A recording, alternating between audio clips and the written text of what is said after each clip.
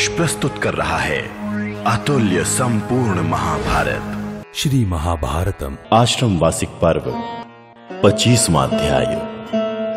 संजय का ऋषियों से पांडवों उनकी पत्नियों तथा अन्य अन्य स्त्रियों का परिचय देना। वैशंपायन जी कहते हैं जन्मेजय जब राजा धृतराष्ट्र सुंदर कमल के से नेत्रों वाले पुरुष सिंह युधिष्ठिर आदि पाँचों भाइयों के साथ आश्रम में विराजमान हुए, उस समय वहाँ अनेक देशों से आए हुए महाभाग तपस्वी गण कुरुराज पांडु के पुत्र, विशाल वक्ष स्थल वाले पांडवों को देखने के लिए पहले से उपस्थित थे। उन्होंने पूछा, हम लोग ये जानना चाहते हैं कि यहाँ आए हुए लोगों में महाराज युधिष्ठिर कौन है? भीमसेन, अर्जुन, नकुल, सहदेव और यशस्विनी द्रौपदी देवी कौन है? उनके इस प्रकार पूछने पर सूत संजय ने उन सब के नाम बताकर पांडवों, द्रौपदी तथा कुरुकुल की अन्य स्त्रियों का इस प्रकार परिचय दिया। संजय बोले, ये जो विशुद्ध सुवर्ण के समान गोरे और सबसे बड़े हैं, देखने में महान सिंह के समान जान पड़ते हैं। जिनकी नासिका नुकीली तथा नेत्र बड़े बड़े और कुछ कुछ लालिमा लिए हुए हैं, ये कुरुराज युधिष्ठिर हैं, जो मतवाले गजराज के समान चलने वाले, तपाए हुए सुवर्ण के समान विशुद्ध गौरवर्ण वाले तथा मोटे और चौड़े कंधे वाले हैं, जिनकी भुजाएँ मोटी और बड़ी बड़ी हैं, ये ही भीमसेन हैं। आप लोग इन्हें अच्छी तरह देख लें। इनके बगल में जो ये महाधनुर्धर और श्याम रंग के नवयुवक दिखाई देते हैं, जिनके कंधे सिंह के समान ऊँचे हैं, जो हाथियों के यूथपति गजराज के समान प्रतीत होते हैं और हाथी के ही समान मस्तानी चाल से चलते हैं, ये कमल दल के समान विशाल नेत्रों वाले वीरवर अर्जुन हैं।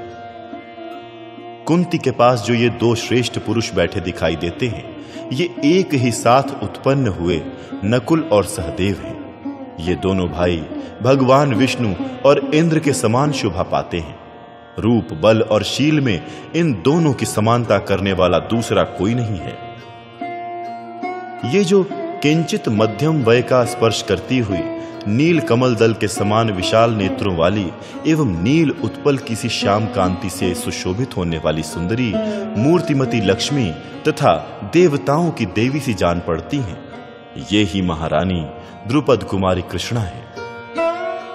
विप्रवरों, उनके बगल में ये जो सुवर्ण से भी उत्तम कांति वाली देवी चंद्रमा की मूर्तिमती प्रभा से विराजमान हो रही हैं और सब स्त्रियों के बीच में बैठी हैं, ये प्रभावशाली चक्रधारी भगवान श्री कृष्ण की बहन सुभद्रा है। ये जो विशुद्ध जाम्बुनद नामक सुवर्ण के समान गौर वर्ण वाली सुंदरी देवी बैठी हैं, ये नागराज कन्या उलूपी है। तथा जिनकी अंग कांति नूतन मधुक पुष्पों के समान प्रतीत होती है। ये राजकुमारी चित्रांगदा है।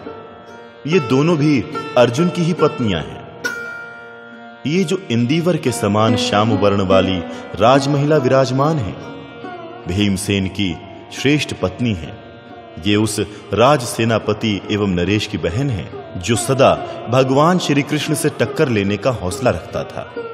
साथ ही, ये जो चंपा की माला के समान गौरव वर्ण वाली सुंदरी बैठी है, ये सुविख्यात मगध नरेश जरासंध की पुत्री एवं माद्री के छोटे पुत्र सहदेव की भार्या है। इसके पास जो नील कमल के समान श्याम रंग वाली महिला है, वो कमल नयनी सुंदरी माद्री के ज्येष्ठ पुत्र नकुल की पत्नी है। ये जो तपाए हुए कुंदन के समान कांति वाली तरुणी गोद में बालक लिए हुए बैठी है। ये राजा विराट की पुत्री उत्तरा है। ये उस वीर अभिमन्यु की धर्म पत्नी है, जो महाभारत युद्ध में रथ पर बैठे हुए द्रोणाचार्य आदि अनेक महारथियों द्वारा रथहीन कर दिया जाने पर मारा गया था। इन सब के सिवा ये जितनी स्त्रियाँ सफ़ेद चादर ओढ़े बैठी हुई हैं, जिनकी मांगों में सिंदूर नहीं है, ये सब दुर्योधन आदि सौ भाइयों की पत्नियाँ और इन बूढ़े महाराज की सौ पुत्र वधुएँ हैं। इनके पति और पुत्र रण में नर वीरों द्वारा मारे गए हैं। ब्राह्मणत्व के प्रभाव से सरल बुद्धि और विशुद्ध अंतकरण वाले महर्षियों, आपने सबका परिचय पूछा था इसलिए मैंने इनमें से मुख्य मुख्य व्यक्तियों का परिचय दे दिया है। ये सभी राजपत्नियाँ विशुद्ध हृदय वाली हैं। वैशंपायन जी ने कहा इस प्रकार संजय के मुख से सबका परिचय पाकर जब सभी तपस्वी अपनी अपनी कुटिया में चले गए, तब कुरुकुल के वृद्ध एवं श्रेष्ठ पुरुष राजा धृतराष्ट्र इस प्रकार उन नरदेव कुमारों से मिलकर उस समय सबका कुशल मंगल पूछने लगे। पांडवों के सैनिकों ने आश्रम मंडल की सीमा को छोड़कर कुछ दूर पर समस्त वाहनों को खोल दिया और वहीं पड़ाव डाल दिया, तथा स्त्री वृद्ध और बालकों का समुदाय छावनी में सुखपूर्वक विश्राम करने लगा। उस समय राजा धृतराष्ट्र पांडवों से मिलकर उनका कुशल समाचार पूछने लगे। इस प्रकार श्री महाभारत आश्रम वासिक पर्व के अंतर्गत आश्रम वास पर्व में ऋषियों के प्रति युधिष्ठिर आदि का परिचय विषयक पच्चीसवां अध्याय पूरा हुआ। छब्बीसवां अध्याय धृतराष्ट्र और युधिष्ठिर की बातचीत तथा विदुर जी का युधिष्ठिर के शरीर में प्रवेश। धृतराष्ट्र ने पूछा, महाबाहु युधिष्ठिर, तुम नगर तथा जनपद की समस्त प्रजाओं और भाइयों सहित कुशल से तो हो ना? नरेश्वर, जो तुम्हारे आश्रित रहकर जीवन निर्वाह करते हैं, वो मंत्री भृत्य वर्ग और गुरुजन भी सुखी और स्वस्थ तो है ना? क्या वो भी तुम्हारे राज्य में निर्भय होकर रहते हैं? क्या तुम प्राचीन राजर्षियों से सेवित पुरानी रीति नीति का पालन करते हो? क्या तुम्हारा खजाना न्याय मार्ग का उल्लंघन किए बिना ही भरा जाता है? क्या तुम शत्रु, मित्र और उदासीन पुरुषों के प्रति यथा योग्य बर्ताव करते हो? भरत श्रेष्ठ क्या तुम ब्राह्मणों को माफ़ी ज़मीन देकर उन पर यथोचित दृष्टि रखते हो? क्या तुम्हारे शील स्वभाव से वो संतुष्ट रहते हैं। राजेंद्र, पूर्वासी स्वजनों और सेवकों की तो बात ही क्या है? क्या शत्रु भी तुम्हारे बर्ताव से संतुष्ट रहते हैं? क्या तुम श्रद्धा पूर्वक देवताओं और पितरों का यजन करते हो? भारत, क्या तुम अन्न और जल के द्वारा अतिथियों का सत्कार करते हो? क्या तुम्हारे राज्य में ब्राह्मण, क्षत्रिय, वैश्य, शूद्र अथवा कुटुंबी जन न्याय मार्ग का अवलंबन करते हुए अपने कर्तव्य के पालन में तत्पर रहते हैं। नरश्रेष्ठ, तुम्हारे राज्य में स्त्रियों, बालकों और वृद्धों को दुख तो नहीं भोगना पड़ता। वो जीविका के लिए भीख तो नहीं मांगते। तुम्हारे घर में सौभाग्यवती बहु बेटियों का आदर सत्कार तो होता है ना? महाराज, राजर्षियों का ये वंश तुम जैसे राजा को पाकर यथोचित प्रतिष्ठा को प्राप्त होता है ना? इसे यश से वंचित होकर अपयश का भागी तो नहीं होना पड़ता है। वैशंपायन जी कहते हैं जन्मेजय धृतराष्ट्र के इस प्रकार कुशल समाचार पूछने पर, बातचीत करने में कुशल न्याय वेदता राजा युधिष्ठिर ने इस प्रकार कहा। युधिष्ठिर बोले, राजन, मेरे यहाँ सब कुशल है। आपके तप इंद्रिय संयम और मनोनिग्रह आदि सद्गुणों की वृद्धि तो हो रही है ना? ये मेरी माता कुंती, आपकी सेवा शुश्रूषा करने में क्लेश का अनुभव तो नहीं करती। क्या इनका वनवास सफल होगा? ये मेरी बड़ी माता गांधारी देवी, सर्दी, हवा और रास्ता चलने के परिश्रम से कष्ट पाकर अत्यंत दुबली हो गई है। घोर तपस्या में लगी हुई है। ये देवी युद्ध में मारे गए अपने क्षत्रिय धर्मपरायण महापराक्रमी पुत्रों के लिए कभी शोक तो नहीं करती, और हम अपराधियों का कभी कोई अनिष्ट तो नहीं सोचती हैं। राजन ये संजय तो कुशल पूर्वक स्थिर भाव से तपस्या में लगे हुए हैं ना? इस समय विदुर जी कहाँ हैं? उन्हें हम लोग नहीं देख पा रहे हैं।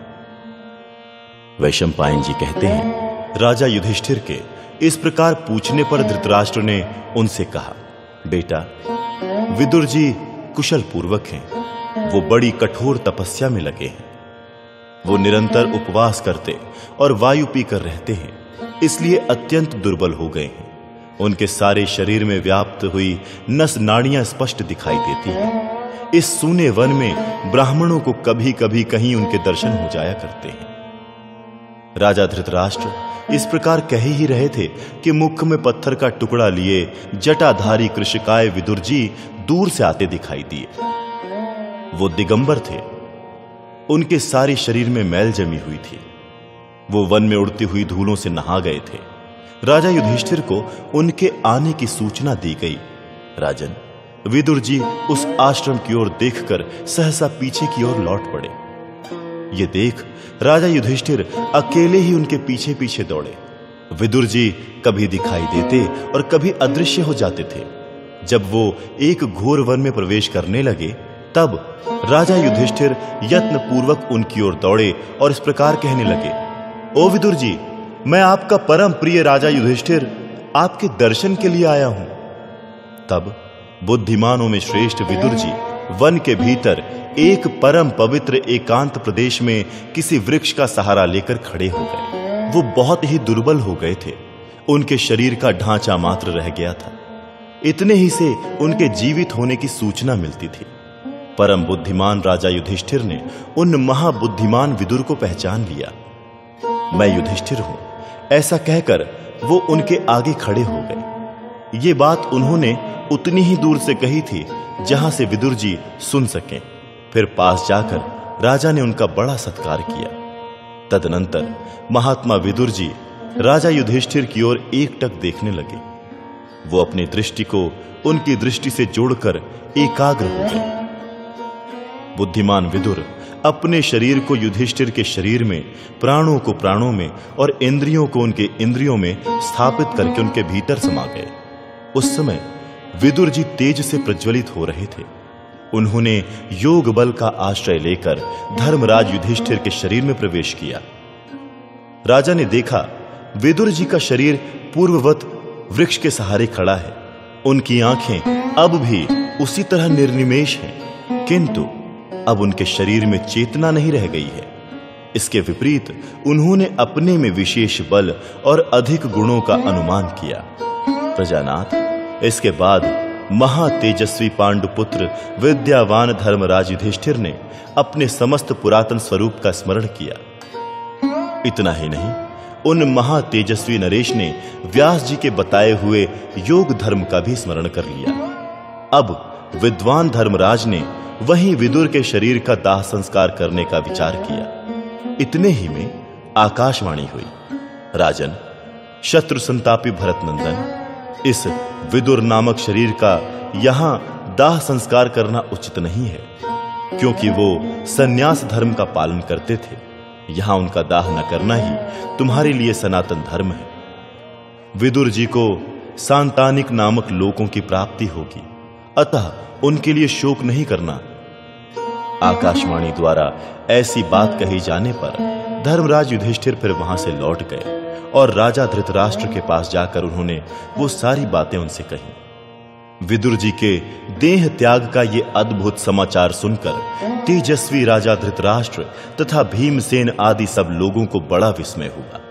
इसके बाद राजा ने प्रसन्न होकर धर्मराज युधिष्ठिर से कहा, बेटा, अब तुम मेरे दिए हुए इस फल, मूल और जल को ग्रहण करो। राजन, मनुष्य जिन वस्तुओं का स्वयं उपयोग करता है, उन्हीं वस्तुओं से वो अतिथि का भी सत्कार करे, ऐसी शास्त्र की आज्ञा है। उनके ऐसा कहने पर धर्मराज युधिष्ठिर ने बहुत अच्छा कहकर उनकी आज्ञा स्वीकार की और उनके द्वारा दिए हुए फल मूल का भाइयों सहित भोजन किया। तदनंतर उन सब लोगों ने फल मूल और जल का ही आहार करके वृक्षों के नीचे ही रहने का निश्चय किया और वहीं रात्रि व्यतीत की।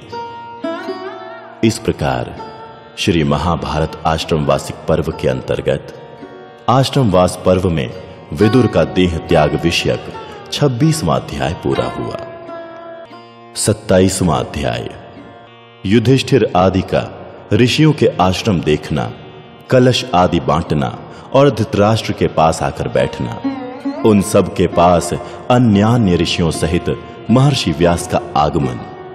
वैशंपायन जी कहते हैं जन्मेजय तदनंतर उस आश्रम पर निवास करने वाले इन समस्त पुण्यकर्मा मनुष्यों की नक्षत्र मालाओं से सुशोभित वो मंगलमयी रात्रि सकुशल व्यतीत हुई। उस समय उन लोगों में विचित्र पदों और नाना श्रुतियों से युक्त धर्म और अर्थ संबंधी चर्चाएँ होती रहीं। नरेश्वर, पांडव लोग बहुमूल्य शैयाओं को छोड़कर अपनी माता के चारों ओर धरती पर ही सोए थे। महामनस्वी राजा धृतराष्ट्र ने जिस वस्तु का आहार किया था, उसी वस्तु का आहार उस रात में उन नरवीर पांडवों ने भी किया। रात बीत जाने पर पूर्वाहन कालिक नैतिक नियम पूरे करके राजा युधिष्ठिर ने धृतराष्ट्र की आज्ञा ले भाइयों, अंतपुर की स्त्रियों, सेवकों और पुरोहितों के साथ सुखपूर्वक भिन्न भिन्न स्थानों में घूम फिरकर मुनियों के आश्रम देखे। उन्होंने देखा, वहाँ आश्रमों में यज्ञ की वेदियाँ बनी हुई हैं, जिन पर अग्निदेव प्रज्वलित हो रहे हैं। मुनि लोग स्नान करके उन वेदियों के पास बैठे हैं और अग्नि में आहुति दे रहे हैं। वन के फूलों और घृत की आहुति से उठे हुए धूमों से उन वेदियों की शोभा हो रही है। वहाँ निरंतर वेद ध्वनि होने के कारण मानो वो वेदियाँ वेदमय शरीर से संयुक्त जान पड़ती थी। मुनियों के समुदाय सदा उनसे संपर्क बनाए रखते थे। प्रभु, उन आश्रमों में जहाँ तहां मृगों के झुंड, निर्भय एवं शांत चित्त होकर आराम से बैठे थे, पक्षियों के समुदाय निशंक होकर उच्च स्वर से कलरव करते थे। मोरों के मधुर केकारव, दात्यूह नामक पक्षियों के कलकूजन और कोयलों की कूहू कूहू की ध्वनि हो रही थी। उनके शब्द बड़े ही सुखद तथा कानों और मन को हर लेने वाले थे। कहीं कहीं स्वाध्यायशील ब्राह्मणों के वेद मंत्रों का गंभीर घोष गूंज रहा था और इन सब के कारण उन आश्रमों की शोभा बहुत बढ़ गई थी।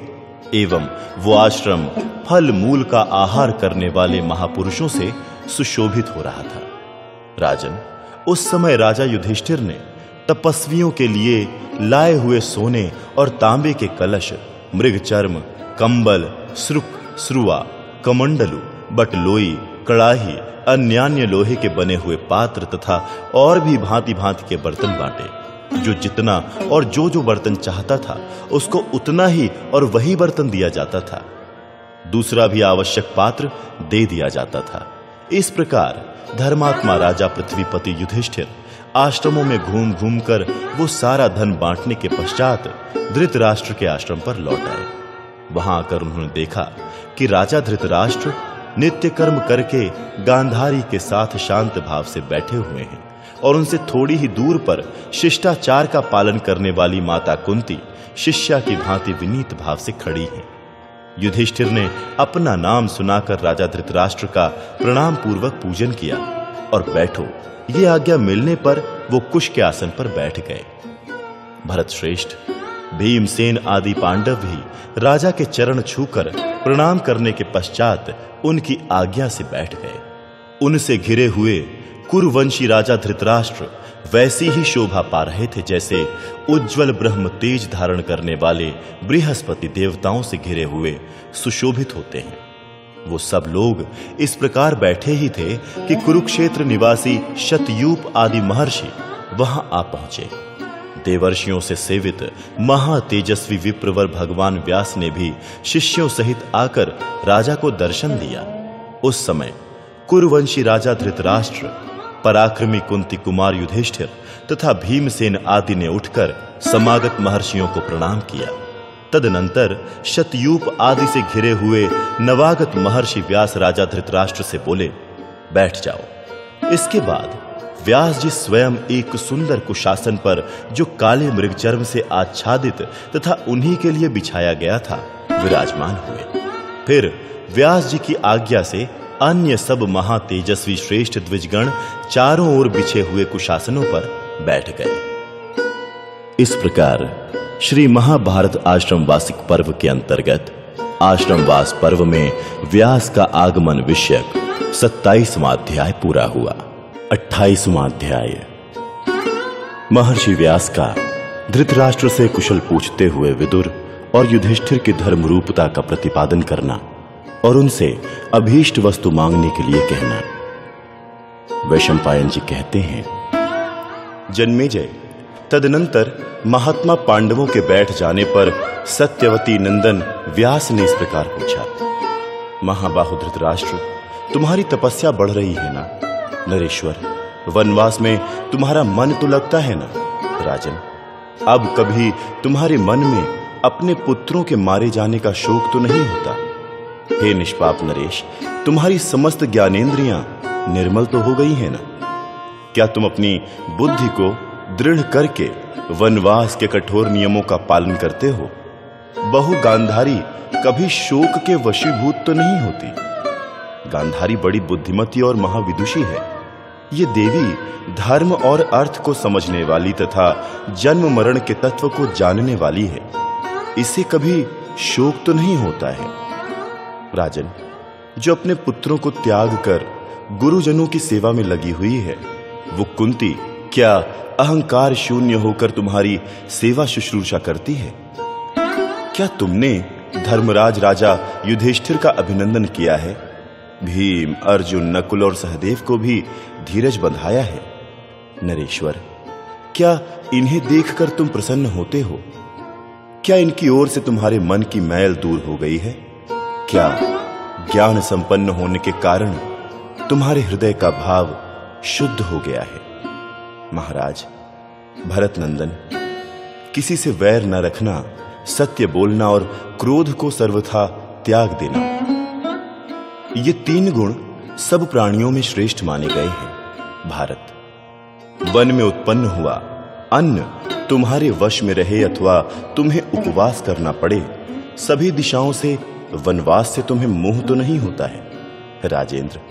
महात्मा विदुर के जो साक्षात महामना धर्म के स्वरूप थे, इस विधि से परलोक गमन का समाचार तो तुम्हें ज्ञात हुआ ही होगा। मांडव्य मुनि के शाप से धर्म ही विदुर रूप में अवतीर्ण हुए थे। वो परम बुद्धिमान, महान योगी, महात्मा और महामनस्वी थे। देवताओं में, बृहस्पति और असुरों में शुक्राचार्य भी वैसे बुद्धिमान नहीं हैं, जैसे पुरुष प्रवर विदुर थे। मांडव्य ऋषि ने चिरकाल से संचित किए हुए तपोबल का क्षय करके सनातन धर्म देव को पराभूत किया था। मैंने पूर्व काल में ब्रह्मा जी की आज्ञा के अनुसार अपने तपोबल से विचित्र वीर के क्षेत्र में उस परम बुद्धिमान विदुर को उत्पन्न किया था। महाराज, तुम्हारे भाई विदुर देवताओं के भी देवता सनातन धर्म थे। मन के द्वारा धर्म का धारण और ध्यान किया जाता है, इसलिए विद्वान पुरुष उन्हें धर्म के नाम से जानते हैं। जो सत्य, इंद्रिय संयम, मनोनिग्रह, अहिंसा और दान के रूप में सेवित होने पर जगत के अभ्युदय का साधक होता है, वो सनातन धर्म विदुर से भिन्न नहीं है। जिस अमित बुद्धिमान और प्राग्ञ देवता ने योग बल से कुरुराज युधिष्ठिर को जन्म दिया था वो धर्म विदुर का ही स्वरूप है। जैसे अग्नि, वायु, जल, पृथ्वी और आकाश की सत्ता इहलोक और परलोक में भी है। उसी प्रकार धर्म भी उभय लोक में व्याप्त है। राजेंद्र, धर्म की सर्वत्र गति है तथा वो संपूर्ण चराचर जगत को व्याप्त करके स्थित है। जिनके समस्त पाप धुल गए हैं वो सिद्ध पुरुष तथा देवताओं के देवता ही धर्म का साक्षात्कार करते हैं। जिन्हें धर्म कहते हैं, वो ही विदुर थे, और जो विदुर थे, वो ही ये पांडुनंदन युधिष्ठिर हैं, जो इस समय तुम्हारे सामने दास की भांति खड़े हैं। महान योग बल से संपन्न और बुद्धिमानों में श्रेष्ठ तुम्हारे भाई महात्मा विदुर, कुंती नंदन युधिष्ठिर को सामने देखकर इन्हीं के शरीर में प्रविष्ट हो गए हैं। भरत श्रेष्ठ। अब तुम्हें भी मैं शीघ्र ही कल्याण का भागी बनाऊँगा। बेटा, तुम्हें ज्ञात होना चाहिए कि इस समय मैं तुम्हारे संशयों का निवारण करने के लिए आया हूँ। पूर्व काल के किन्हीं महर्षियों ने संसार में अब तक जो चमत्कार पूर्ण कार्य नहीं किया था, वो भी आज मैं कर दिखाऊँगा। आज मैं तुम्हें अपनी तपस्या का आश्चर्यजनक फल दिखलाता हूँ। निष्पाप महिपाल, बताओ तुम मुझसे कौन सी अभीष्ट वस्तु पाना चाहते हो? किसको देखने, सुनने अथवा स्पर्श करने की तुम्हारी इच्छा है? मैं उसे पूर्ण करूँगा। इस प्रकार श्री महाभारत आश्रम वासिक पर्व के अंतर्गत आश्रमवास पर्व में व्यास वाक्य विषयक अट्ठाईसवां अध्याय पूरा हुआ।